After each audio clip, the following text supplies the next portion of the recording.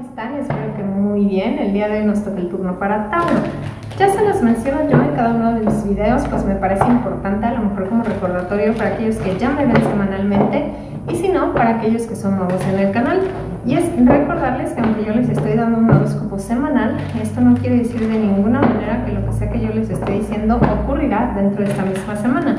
Puede ser que pase más tiempo y que apenas esté dando lo que sea que yo les esté diciendo. Esto es porque los tiempos de la tarot son relativos y también porque los tiempos son divinos.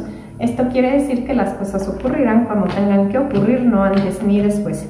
También recordarles que el horóscopo se hace semanalmente para adaptarnos a la vibración de cada uno de ustedes.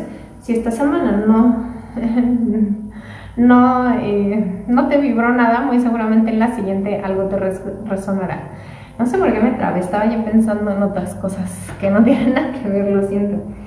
Y pues bueno, nos vamos entonces con el área de la salud.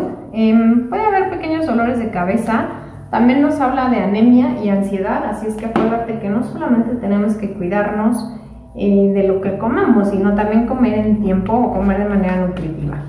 En lo que es la parte del dinero, nos habla aquí de algún gasto que no estabas esperando, que vas a tener que realizar muy pronto. Me pareciera aquí que puede ser en unas dos semanas aproximadamente. En lo que es el área de pareja, mm, para algunos de ustedes nos habla que se están enfocando en otra cosa que no tiene nada que ver con la pareja, como hacer dinero, trabajo. Para otros de ustedes nos habla que los han lastimado demasiado en el pasado, por lo que no se están animando a tener una relación nueva.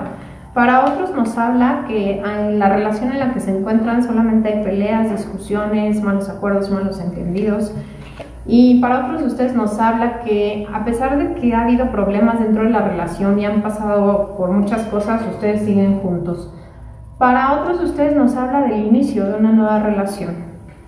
Nos vamos entonces a la pequeña tirada interactiva. Recuerda que únicamente tengo mis arcanos mayores, por lo que la pregunta o la respuesta a tu pregunta tiene que ser un sí o un no. Em, recuerda que te voy a dar dos opciones, una de esas dos opciones es la respuesta a tu pregunta, ¿vale? Y pues bueno, concéntrate en esa pregunta.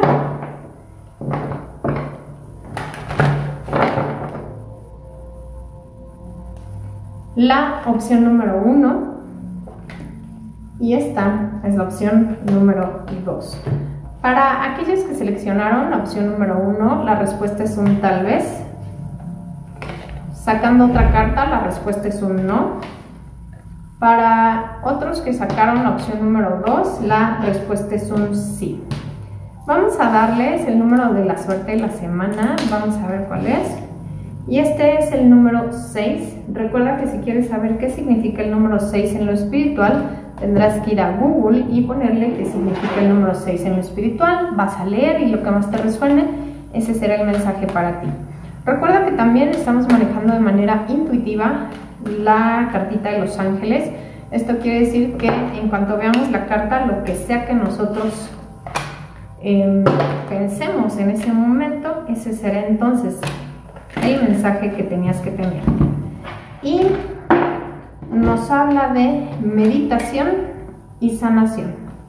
Espero que les haya gustado el horóscopo esta semana y nos vemos la siguiente con más. Muchas gracias, Adnan.